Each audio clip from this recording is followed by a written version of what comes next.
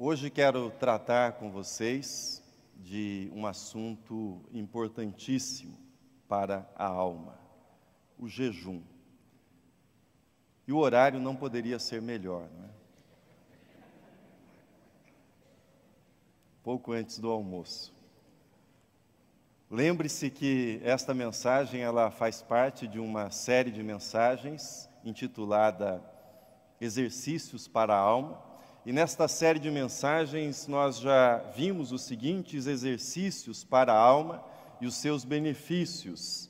Já falamos nesta série sobre o exercício devocional, sobre a solitude e silêncio e sobre o exercício do estudo, o exercício da reflexão. O jejum é uma coisa conhecida de todos nós. Certamente você já fez exames médicos e esses exames exigiram jejum. Normalmente, jejum de 12 horas. Então, eu não estou falando de uma coisa completamente desconhecida para você. Você conhece, você sabe o que é fazer jejum, neste caso, jejum para exames médicos. Portanto, não se trata de uma experiência completamente desconhecida. Entretanto, o jejum que nós tratamos hoje não é aquele feito por razões médicas ou razões de saúde física, mas trata-se do jejum bíblico. O jejum é uma prática religiosa que conta com milênios. Era praticado pelos judeus muito antes do nascimento de Cristo. Era praticado também por outros povos, por exemplo, praticado pelos gregos filósofo Platão deu seu testemunho a respeito do jejum que ele praticava, escrevendo o seguinte: o texto está na tela, ele diz: Eu jejuo para, para ter maior eficiência física e mental. Platão. Este aspecto do jejum, ou seja, dos benefícios para a saúde, tem sido redescoberto pela medicina moderna e você encontrará uma quantidade enorme de material a esse respeito. Mas não é isso que nos interessa nesta mensagem. Interessa-nos o jejum praticado com propósito bíblico, ou seja, de olhar para o próprio coração, de olhar para dentro de si. O jejum praticado com o propósito de olhar para Deus, de contemplar Deus, de encontrar em Deus comunhão e orientação para a vida. O jejum foi praticado por Jesus, foi praticado por Moisés, por Elias, por Daniel, por Davi, por Esther, por João Batista, e essa lista de personagens bíblicos poderia prosseguir. A lei mosaica estabelecia um dia do ano, que era uma espécie de convocação nacional, dia esse no qual os judeus deveriam jejuar, era o dia da expiação. Mas os judeus praticavam o jejum como, uma, como algo pessoal, como um exercício para a alma. E a prática era tão intensa que o calendário judaico foi acrescentando outros dias nos quais o jejum deveria ser observado. E hoje, no judaísmo moderno, eles contam com 28 dias de jejum no ano. Mês de fevereiro, praticamente, de jejum ao longo do ano. No tempo de Jesus, os fariseus jejuavam dois dias na semana. Era prática comum entre os fariseus. E o jejum, ele se iniciava com o nascer do sol e terminava quando o sol se punha. Esta era a prática corrente no tempo de Jesus. Mas o que é o jejum bíblico? O jejum é a abstenção total de alimentos ou a abstenção parcial de alimentos com a finalidade de buscar comunhão com Deus. Talvez você se pergunte, mas o jejum é um mandamento? Não, o jejum não é um mandamento. Não é um mandamento. Não está entre os dez mandamentos. Jejuar não é um mandamento, mesmo porque Pessoas com determinados problemas de saúde, por exemplo, diabéticos, pessoas com problemas cardíacos e outras doenças, não podem jejuar. Portanto, o jejum é um ato de humildade.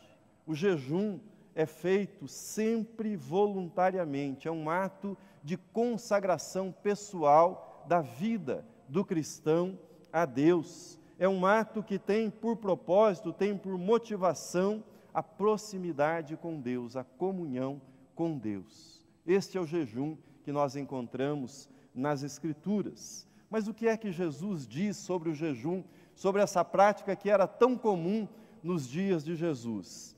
Ele faz, no texto que nós lemos, algumas afirmações, nos dá algumas orientações que são fundamentais para a nossa prática do jejum. Em primeiro lugar, Jesus diz se você vai jejuar, seja discreto, seja discreto. Um dos grandes problemas dos, dos exercícios espirituais feitos pelos fariseus era a ostentação. Se davam esmolas, eles queriam que todos vissem e aplaudissem o ato que eles praticavam.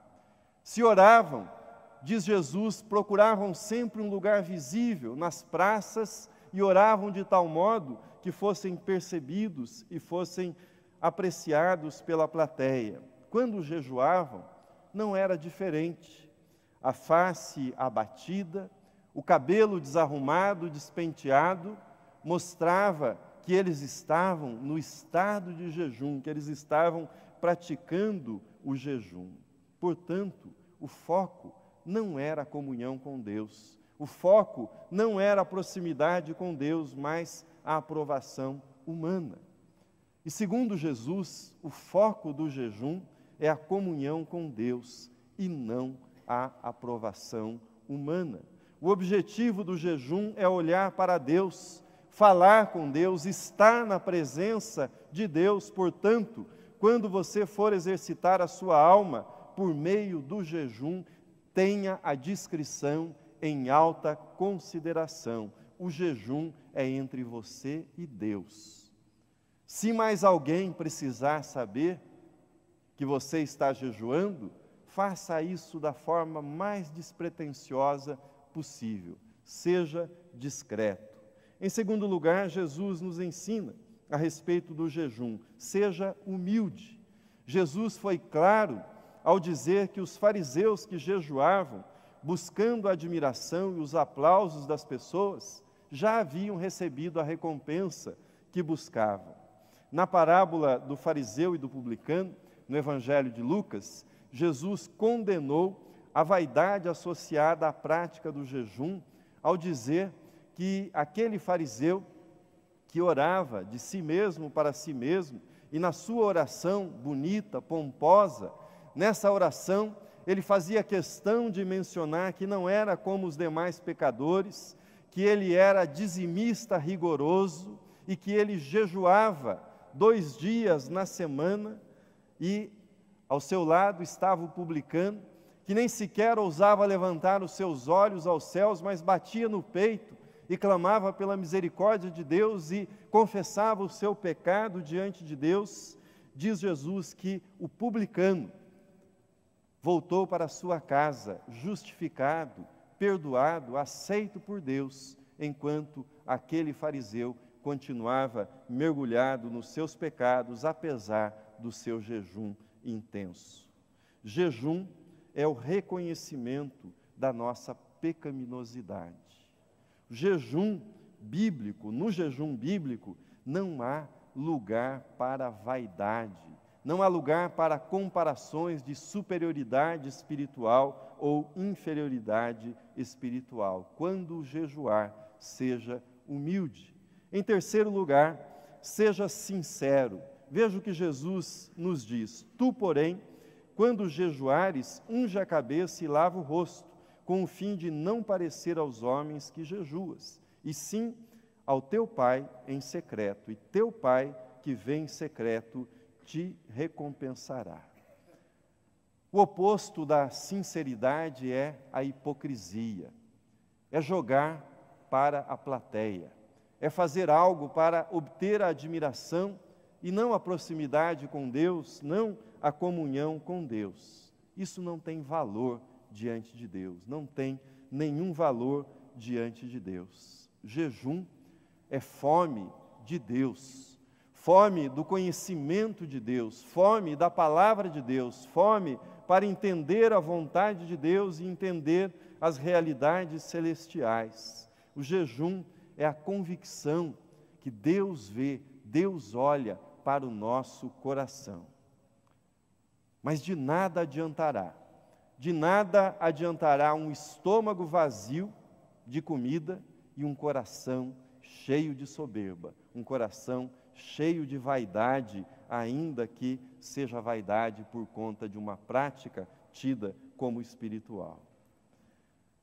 Talvez a essa altura você esteja se perguntando: o jejum fará alguma diferença na minha vida?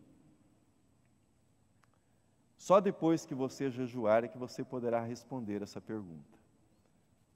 Mas eu fico impressionado com a quantidade de cristãos, a quantidade de cristãos que nunca praticou o jejum, mas o critica. Nunca fez esse exercício espiritual, mas o despreza. O jejum praticado com a motivação correta, com sabedoria, com prudência, com bom senso, produzirá inúmeros benefícios para a vida do cristão. É isso que as Escrituras nos dizem. Alguns talvez se perguntem, mas será que isso não é fanatismo? Um pouco de fanatismo religioso? Essa pergunta é curiosa. É curiosa pela seguinte razão: nós vivemos numa cultura que aceita e incentiva toda sorte de sacrifícios com finalidades estéticas. Entretanto, responde com assombro, considera como irracionais e fanáticas pessoas que se abstenham de modo consciente e voluntário, no pleno controle da sua razão, que se abstenham por determinado período de tempo dos alimentos por motivo de fé. Por motivo de fé. Não é estranho isso? Além disso, lembro que nós vivemos numa cultura dos excessos alimentares. As doenças do nosso tempo não são doenças da falta, são doenças do excesso. Excesso de sal, excesso de alimentos gordurosos, excesso de açúcar. Ou seja, numa sociedade que cultua e adora o próprio estômago, certamente soará a proposta do jejum bíblico como provocação como algo absurdo, mas é justamente porque nós temos a tendência de idolatrar aquilo que nos dá prazer, que o jejum nos parece tão desafiador. E é justamente porque nós tendemos a essa idolatria que nós precisamos do jejum para que ele nos traga a lembrança de que nem só de pão viverá o homem, mas de toda a palavra que procede da boca de Deus, ou seja, nós somos sustentados espiritualmente por Deus e pela Sua palavra. Um dos benefícios do jejum é devolver ao ser humano o controle sobre os seus impulsos, sobre o seu próprio corpo, sobre a sua vontade, uma vontade muitas vezes escravizada. Li outro dia uma frase extraordinária. A frase dizia assim: Não cave a sua própria sepultura com o garfo e a faca.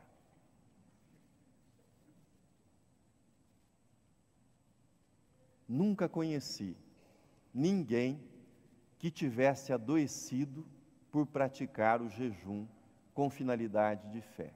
Nunca conheci.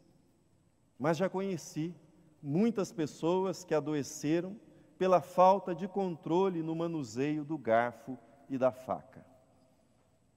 Mas o jejum bíblico, ele não trata apenas do controle sobre a gula.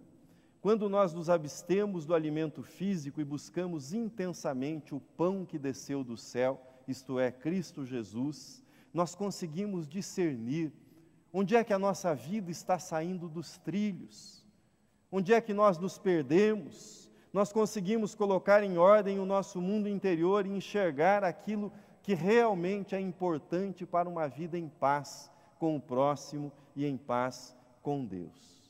É isso que o jejum proporciona para a vida do cristão. Uma vez que você está interessado em começar a jejuar, seguem agora algumas dicas. Por onde eu começo? Como é que eu posso começar a praticar o jejum? Comece jejuando uma ou duas refeições. Minha sugestão, obviamente isso não é lei, não é regra, cada pessoa deve encontrar aquilo que funciona melhor para si, ou seja, aquilo que dentro da sua agenda, do seu bom senso, do seu ritmo, funciona melhor para si. Então, vou fazer uma sugestão.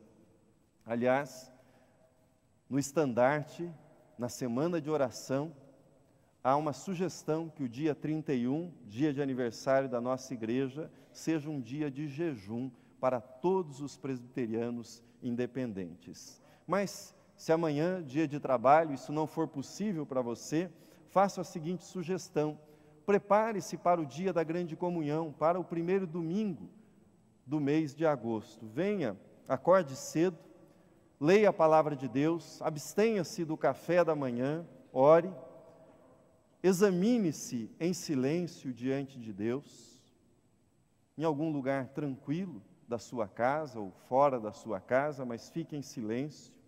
Venha para o culto e participe da adoração. E no momento da ceia, ofereça o seu jejum a Deus. Receba o pão, receba o cálice, recebendo o alimento que vem de Deus. E oferte o seu jejum para Deus.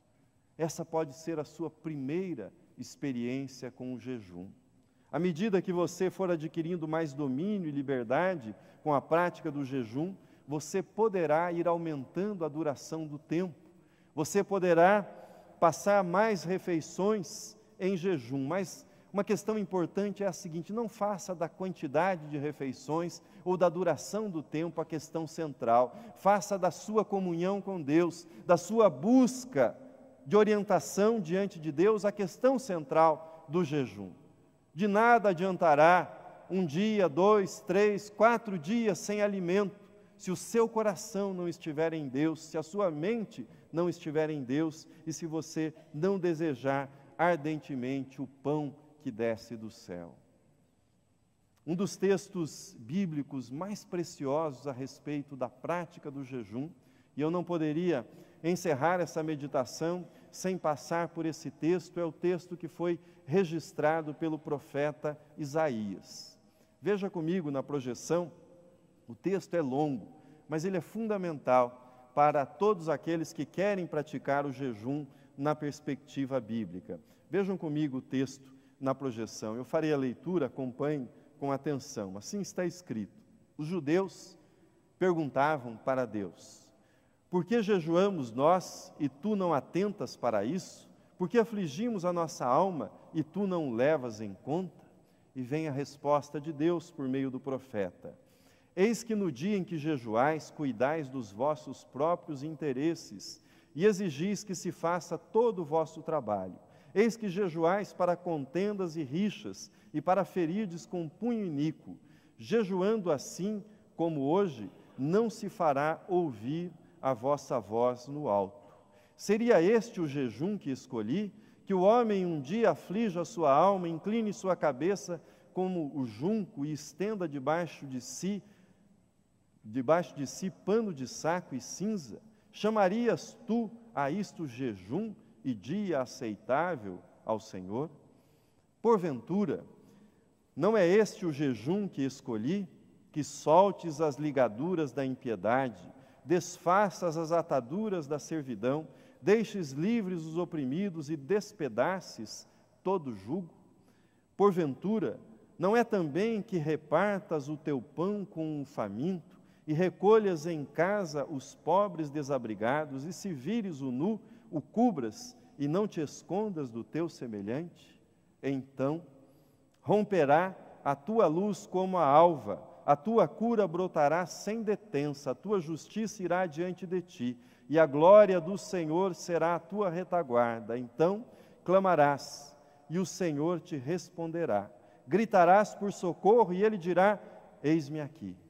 Se tirares do meio de ti o jugo, o dedo que ameaça, o falar injurioso, se abrires a tua alma ao faminto e fartares a alma aflita, então a tua luz nascerá nas trevas, e a tua escuridão será como o meio-dia. O Senhor te guiará continuamente, fartará a tua alma até em lugares áridos e fortificará os teus ossos, será como um jardim regado e como um manancial cujas águas jamais faltam. Deus falou ao povo de Israel por meio do profeta Isaías, lembrando que o jejum nunca funcionaria e nunca funcionará como um instrumento de manipulação de Deus e da vontade de Deus. Não jejue julgando que com isso você conseguirá a sua salvação pessoal. Não jejue pensando que você obterá da parte de Deus qualquer garantia que as suas orações serão respondidas nos seus termos. Jejum não serve para isso, não é esse o propósito. O jejum não obriga Deus a fazer aquilo que você deseja que Ele faça. Não é assim que funciona. Não jejue como um alienado religioso, um alienado religioso que fica orgulhoso de seu autocontrole, pela abstenção de alimentos, mas não se sensibiliza com aqueles que não têm o que comer, não têm o que vestir e não têm onde morar, não têm onde se abrigar. O jejum bíblico torna o cristão sensível ao sofrimento ao seu redor e o fortalece para trabalhar em favor da justiça. O jejum bíblico torna o cristão solidário, generoso para com o seu próximo, faz com que o cristão abra o seu coração para o próximo e abra também o seu bolso para ajudar o próximo. Se vocês me dão licença, novamente, para fazer uma sugestão, e observe que se trata de sugestão, por favor, não obrigação, não regra, é sugestão.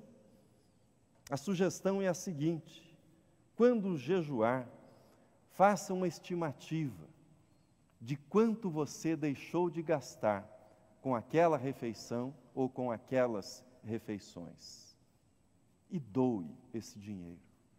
Doe para entidades que alimentam as pessoas que não têm o que comer. Doe para entidades que ajudam o próximo, que ajudam o necessitado o exercício do jejum, nessa perspectiva de Isaías, o colocará em comunhão com Deus e em comunhão com o seu próximo, com o seu vizinho. Aliás, eu fiz umas contas pensando nesse jejum nacional do dia 31 de julho, sugerido pela Igreja Nacional. Nós somos aí entre 80 e 100 mil presbiterianos independentes, mas descontados não é, as limitações Fiquei com 50 mil presbiterianos independentes, jejuando, nessa perspectiva de Isaías. Calculei se uma refeição num, num, num self-service, aí em torno de 20 reais. Não sou bom de matemática, mas acho que a conta está certa: 50 mil vezes 20, um milhão de reais. Vocês já pensaram uma campanha? Um milhão de reais para comprar alimentos, para doar para aqueles que são necessitados. E quanto custaria meio dia de jejum? Vocês percebem o poder do jejum? Poder espiritual que o jejum pode ter na obra de Deus? Mas a questão do dinheiro talvez seja menos importante. Diz o livro de Atos dos Apóstolos, capítulo 13, que quando a igreja orava e jejuava, Paulo e Barnabé foram separados para a obra missionária. Nós não teríamos as epístolas do Novo Testamento, a difusão do Evangelho no Ocidente, sem aquele jejum, sem aquela oração e sem a separação de Paulo e Barnabé. Qual é a promessa de Deus para aqueles que jejuam dessa forma e com essa motivação? Veja novamente na tela Isaías 58, versículo 11 promessa de Deus. O Senhor te guiará continuamente, fartará a tua alma até em lugares áridos e fortificará os teus ossos. Serás como um jardim regado e como um manancial cujas águas jamais faltam. Você sabe aquela frase famosa, menos é mais? É verdade nesse caso. Menos comida no estômago será mais direção de Deus para a sua vida. Pensar menos em si mesmo e nas suas necessidades e prazeres imediatos tornará você mais atento às necessidades daqueles que estão ao seu redor. Aquele que jejua tem a sua alma saciada, mesmo quando atravessa dias áridos e lugares áridos. Aqueles que se privam do alimento para buscar a Deus não ficam mais fracos fisicamente. Diz o texto bíblico que tem os ossos fortificados, ou seja, essas pessoas têm força espiritual, força interior, força mental. Aquele que come e bebe de Jesus jamais terá fome ou sede. Que Deus nos abençoe com fome de Deus. Amém.